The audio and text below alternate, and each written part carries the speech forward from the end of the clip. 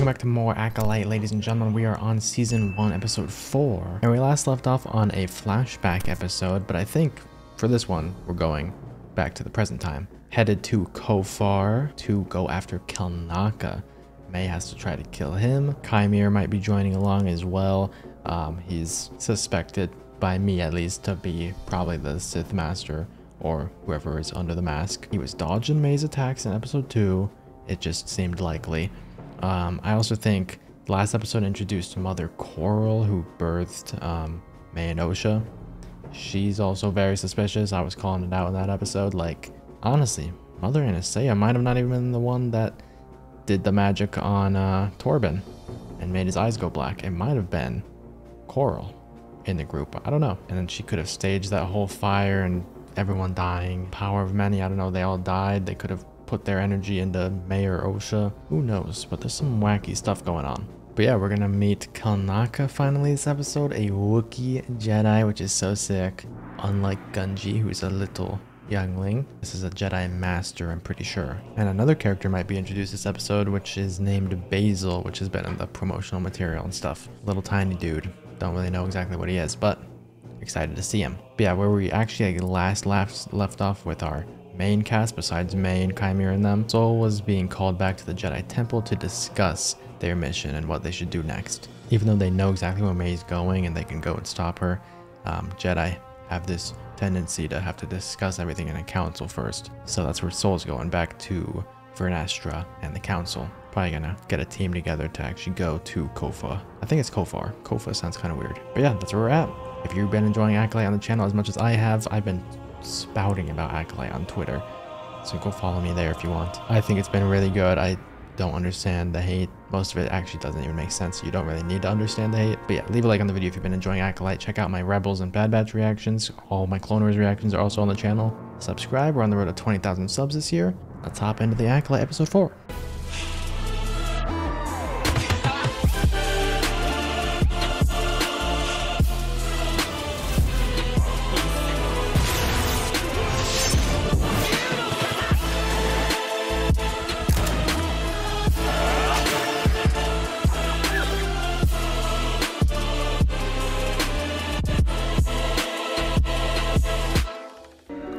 Khofar. Okay. Not Kofa. a Wookiee in a Jedi robe. I just love to see it. Do I feel like this episode's gonna end where that first trailer ended with all the Jedi about to rush in? I just really hope not. I don't want to have to wait for next week for a big battle.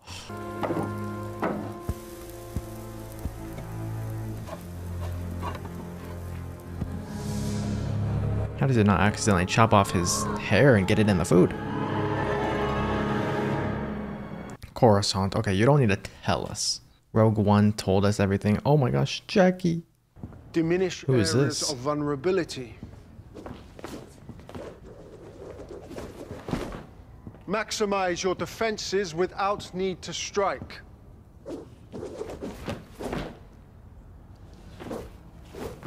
I like seeing this. time. Lunchtime. Jecki, best You're character. not Staying? I've done what I needed Please, to do. nothing happened to her. Thank you For what? for helping me find my sister. Prove my innocence, clear my name. You mourn the years lost between the two of you. Someone must find May before she does any more harm. But it's not me. I feel like she could get to her and stop her, though. Next time I'm on Coruscant, though, I'll look you up. And we'll go to a cantina and trade stories about Master Sol. Did you say goodbye to him? I've caused him enough trouble. Not saying goodbye. Pretty messed up, Osha. I didn't oh, notice May's hair is so long Yes, I have. compared to Osha's. I don't think Osha's just had short hair, right? I don't know. It know. was hard. That looks scary. You went in there and risked your life for my master. No, I risked my life to help you. He's got to be the master. I hope there's a twist and he's not, but it. All signs are pointing to Qimir, or maybe Koril. You need to kill the Wookiee. You made a deal. There it is. The planets aligning. Hey, they got a peanut head here. Ki-Adi-Mundi or whatever. She doesn't know her master But that's not actually him. They don't live that long, right? him. An apprentice who doesn't know their master. It's absurd. Could this be a splinter order? She killed two Jedi Masters. Mm-hmm. Yes. But May targeted these three. Four. Including you, Sol. The four Jedi stationed on her home planet when she was a Yeah, child. she tried to kill Sol without a weapon. How odd. She turns up all these years later, trained by one of our own. Vernestra's on to them. I don't think she knows the cover up. We should handle this ourselves. We must learn who trained her. You know, the white and yellow, the or white and gold, whatever. It's so clean. Why didn't you tell me about this? I did, as soon as I knew. No, Sol. 16 years ago. Why didn't you tell me there was a chance this poor girl survived? If I thought there was, of course I would have. He really didn't know. I don't. I think Sol's kind of in, innocent. No one could have survived that. He ran into that room and said May, and he screamed May and Osha. He was looking out for both them. May's objective is not solely her own. You must know that. Mm-hmm. I fear May is only a small part of her master's larger plan. Some sort of shift. Something to Uh-huh. tip the scales. She will not surrender without getting something in return. Do we have something she wants? Her sister? I don't know. How do you kill a Jedi without a weapon? It has to be some sort of test, right? Yeah. Engage unarmed, but can use their saber if you disarm them? Or is that cheating? I'm just curious how you're gonna do it this time. You, you failed so much. I didn't fail. you failed so much. Torbin killed himself. Without a weapon. How are you gonna kill a Wookiee Jedi without a weapon? Honestly, she seemed really fond of that one Jedi Master. What was his name again? Sol? he knows this stuff. Weird vibes, Chimere. There's a lot of transitions in this one. Service. Kind of fast It's like paced. the day we met. There's some sick aliens in the background of this show. So, Huh, it's like a little panda bear. Find you, and Jecki said you already left. I'm sorry I didn't say goodbye. I need your help. I need you to come with me on this mission. Yes. You want me to rejoin the Jedi? Well, not officially. Oh, Does she want to rejoin? That made it seem like she did. When I told May you were alive, her eyes softened. Mm-hmm. She became a different person. I don't want May to get hurt. I know you don't either. There is still good in her. The part of her that loves you. He sees good in so many people. she's a murderer. Fine.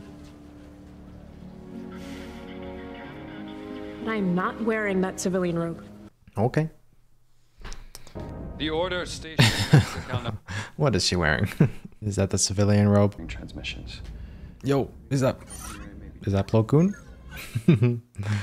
I don't know. How long do they live? Oh, we're already getting a little basil.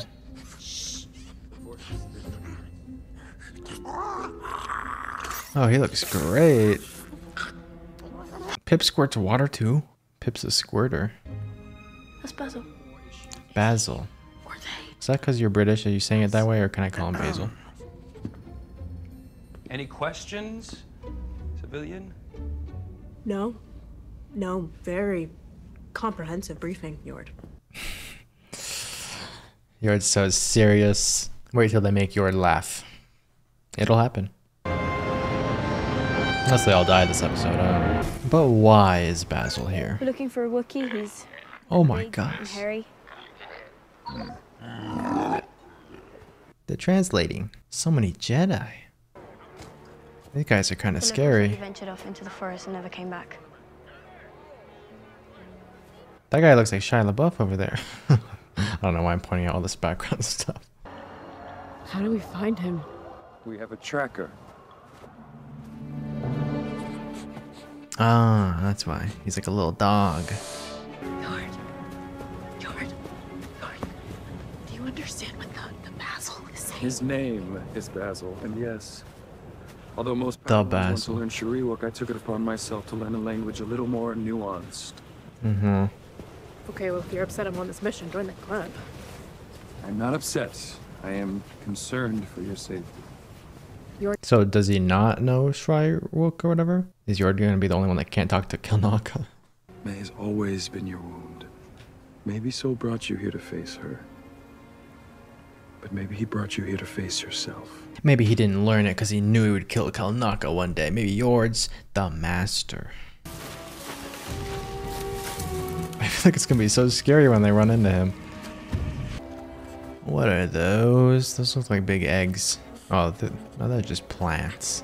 No, Basil's so cute. What is it? he Says there's something wrong here. Something rotten. Uh, Keep up the pace. Keep down the volume. those spider eggs. I'm We scared. don't know. And we don't want to know what lives out here. Mm-hmm. This is like venturing into Kong Skull Island right now.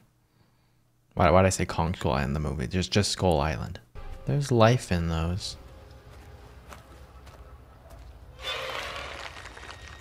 Oh, they're like roly polies on the side. Roaches. Oh, they're not sacks. What the hell? Oh my gosh, it's like from the Ewok movie. Oh. Stand down. They're everywhere. First time Sol's drawn a saber. He's an exterminator. It's attracted to life. Is it attracted to light or did it go for him? I mean, okay. That observation happened really quick. Attracted to light. That means if it gets nighttime and they start lighting their sabers, we're gonna be having a pest problem. Well, I could never accept death as a true Jedi should. You're a true Jedi. I couldn't accept what I'd lost. How unfair it felt. The resentment that I felt for my sister. Even though I, I missed her at the same time. We're not defined by what we lose. We're defined by what we survive. What doesn't kill you makes you stronger. I have to fight a Wookiee after this trek. I'd like to rest for a minute, if that's all right with you. It's not, but okay. Is he afraid of the bugs here? It's not a test. It's a time trial. He calls it the final lesson. Your final lesson is when you teach yourself. You will kill a Jedi without a weapon. Attacking a defenseless person goes against everything the Jedi stands for. How do you kill someone like that? Unarmed. It's not impossible. You know that. Because if you show yourself as not a threat and they're still attacking you, that's what makes it a strong moral argument to to fight against them. Because then the Jedi are breaking their own code. You've broken the Jedi. What are you doing? She's getting on a rope. She's gonna climb, get the high ground, maybe set a trap. Swear we need a tracker just to track our tracker. So, Not a bad idea. Oh, that's May screaming, not Basil. I was like, whoa. oh. It worked. But you've just attracted all the other Jedi. May! May! May! Help! You know, after running through that forest for an extremely long time, I realized something. We're wrong. OSHA being alive changes everything. My loyalty is to OSHA, not your master. What, what are you doing? What I'm Okay. going to do is surrender myself to Kelnacca. Big change of heart. I mean, she f- seemed to really change seeing Osha. He's the master. He's getting out of this. There's no shot. There's no shot. This all goes perfectly to plan. Look at all these Jedi here. They're all gonna die. There's so many extras. They're just gonna die.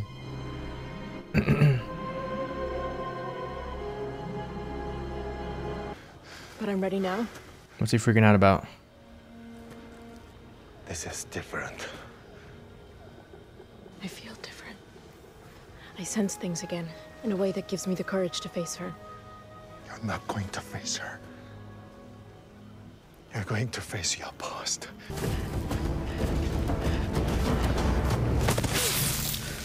Why? You made it all this way without tripping. Did she trip on Basil? Little buddy. That's loud. oh shoot. Don't breathe in those spores, Basil. Is he? No. No, we didn't get... I mean, I know we're gonna get a flashback with Kanako. We've seen it in trailers. Is he dead? There ain't no way we didn't get to see him in this time period. he He's just dead. Yeah, so the Master's here. He's got big lips, dang. It's Qimir. Was it just obvious from episode 2? No, I really wanted to see Kanaka. I know we'll get flashbacks of him, but still. In the name of the Galactic Republic and the Order of the Jedi. We knew Jedi were gonna die, but I wanted to see him do a big fight here. You wanted to turn yourself in? Anyways, turn yourself in right now. In front of the Master, though. Is that what Sol was feeling? Chills? a coldness? oh, he's floating down back there. Oh. Wait, that's actually really sick. they just floated down like that. I mean, I hope it's not Chimera, but you know. what a present. Smile. Now they make they're making us think it's Chimera. They gotta have a twist. We won't know. I see a yellow eye under the mask. That's cool. Is it coral? Oh shoot. Don't just end. Don't just end. Oh. That head twist. No, I said it. I said they would end there. Oh my gosh, I said they'd end there. Why can't you release two this week? I'm so used to House of the Dragon and The Boys right now dropping hour-long episodes. That was too predictable that they would end it right there. But I know next week we're going to get such an insane episode. That's going to disappoint some people. That ending. They could have had a longer episode here. Oh, but that float down and everything. I really like that. This is gonna be a really like binge worthy show. It's just when you have to wait a week. And I like waiting a week for episodes. I hate when everything's released all at once. But if they like always have a cliffhanger, like in their ending just when the action's starting or something, that's a little weird. I don't like that as much. This episode was called a day. Huh. Day. Man. I do just kind of want to rewatch that float down. That was scary. They were like a ghost. That yellow eye, though, that you can just see the little sliver of under the mask. I love that. It looks like the smile of the mask, too, is like, it looks like it's made out of lightsabers for some reason. like, just twisted up metal from lightsabers. I don't know why. Man, we gotta wait a week. Oh. Well, I'm disappointed in that runtime and that we didn't even get to see Kelnacca try to fight this Sith at all. But you know what? Maybe it'll make sense at the end of, of the show. Maybe we will since you get to see that. We'll definitely get to see Kanaka in flashbacks at least. So that's fine with me. Okay, so I, I talked a lot during the episode, uh, of course, but I'm going to restate my, my things here in the discussion. I'm really hoping the Master is a big twist in some way. They would, of course, I feel like, want it to be a character that we know, whether that's Chimera or Koril. If it was Koril, that'd be more of a twist to me than it being Chimera. I feel like Chimera is just too obvious from episode 2. But then again, what is Chimera's place if he's not the master? Why would the master be keeping this guy around, you know? And if it's Koril, what are the extent of her abilities as a witch, you know? She knows the dark side very well, but she wasn't the one, Anastasia was the one who actually created the twins. So, if anything, Anastasia would be more powerful, but we saw her dead. We did not see Koril's body at all, so we don't know the extent of her abilities. But man, I love seeing a Jedi float. I think that is sick. Ever since the old 2005 Battlefront 2 game where you could play as Darth Vader, you could play as all the Jedi, and you would hold your jump button and just slowly descend. I loved that. Jedi, Sith floating, I think is really cool. And you rarely ever get to see that in anything Star Wars. They just don't do it. It's only from like games for the most part. So that was cool. This episode definitely could have been a little longer, even if it had the same endpoint. Um, there was like I was pointing out during the episode, there was a lot of transitions happening. It would do like the fade out, fade in, the swipe, the swipe. It was like two minute scenes or sometimes one minute scenes and then another swipe transition. So they were going really fast paced about it, but there was no point of going that fast because you don't get to the get to the action anyways. So I feel like that could have been slightly tuned here, but I also didn't feel like any scene here was wasn't needed. Um, they all flowed pretty well, so there was nothing just shoved in this episode just for it to be there and then swipe away. I am wondering if that one guy is Plo Koon though. There, there was we saw him in one of the trailers, and people were theorizing that they do they could live that long if they're a Jedi. Um, but yeah, I don't know. I guess we'll see if he uh, dies in the next episode. I'm pretty sure a lot of these characters are gonna die next episode. Uh, maybe not any of the main ones, but everyone that they brought brought on the journey just seems right. And I have heard from the creators of this, they they've said episode five is one of the best. So excited for that. I wonder what the design choices are for that helmet and everything, not from the creating this this Star Wars show standpoint, but from the person that's wearing the mask, you know. If it is Qimir, why did he choose uh, like if it's Qimir, I can explain it because he has a very high pitched voice. So Qimir would probably want to sound more menacing, and he gave himself that deep voice in the mask. And then he gave himself this scary grin or whatever. Yeah, it would make sense for his character. But if it's anyone else, um, I would wonder why they chose a mask like that. And we just haven't really seen anything like that before. We've seen like Kylo Ren, but not something that's like supposed to be like scary or like haunting, you know? Even the way they like turned their head, they like flicked Osha to the side and then just like turned their head in like a creepy way. Like, what are they doing? I don't know. I to know who's under that mask and what they're thinking. Man, everything after this episode, once they have just now encountered the Sith or whoever this is, everything changes for the Jedi Order. I, I wasn't thinking about this in the episode. I was like, why doesn't she just turn herself in? But she is being pretty smart right here. She doesn't know that that's Qimir under the mask, if it is him, right? It might not be, but if it is, that's gonna be funny. Uh, so she's thinking that after that Sith goes out and kills all those Jedi, she could just come out and be like, "Oh, I'm still on your side, Sith Lord or whatever." If it's Qimir under the mask, he'll know. I mean, she just like said that she was gonna turn herself in and not do this mission anymore, not listen to the Master. But if it's not, they might not know. Pretty interesting, and May could still go through with her mission with the Master. Although the Master did just go in and kill Kelnacca for some reason, so it probably has to be Qimir, or else there'd be no point of that happening. Yeah, interesting choice to make May's mission from the past two episodes, well, episode one and two, like just not be a thing anymore. It is weird, but I could see why seeing Osha changes her. It feels like a much bigger deal, her mission stopping, because we've been watching in a weekly order. We've had to wait weeks in between. But if you really are just binging the show, it's not that big of a change, you know? I did want to see May eventually go up against Kelnacca and Sol, so I am a little disappointed in that.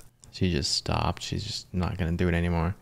I mean, the Master might win this fight here, probably will, and uh, May might rejoin him or her, which would be the best outcome, I feel like, for the show. I really want to see that. Because if she's not the Acolyte anymore, on episode 4 here, if she stops being the Acolyte, if she ever even was, you know? I mean, yeah, the master literally called her the acolyte, so.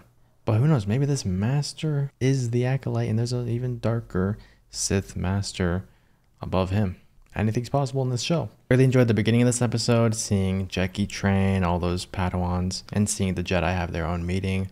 Uh, Vernestra seemed to be onto them a little bit, but it even made like it made me feel more innocence for Sol as well. Like he really didn't know what was going on. He didn't know May survived or could have survived or any of that. He might be innocent, completely, completely innocent. But he should also know better. Like the fire that May started couldn't have done all that. So I would think he's stupid if he didn't think that. Maybe he was just too afraid to question his other Jedi.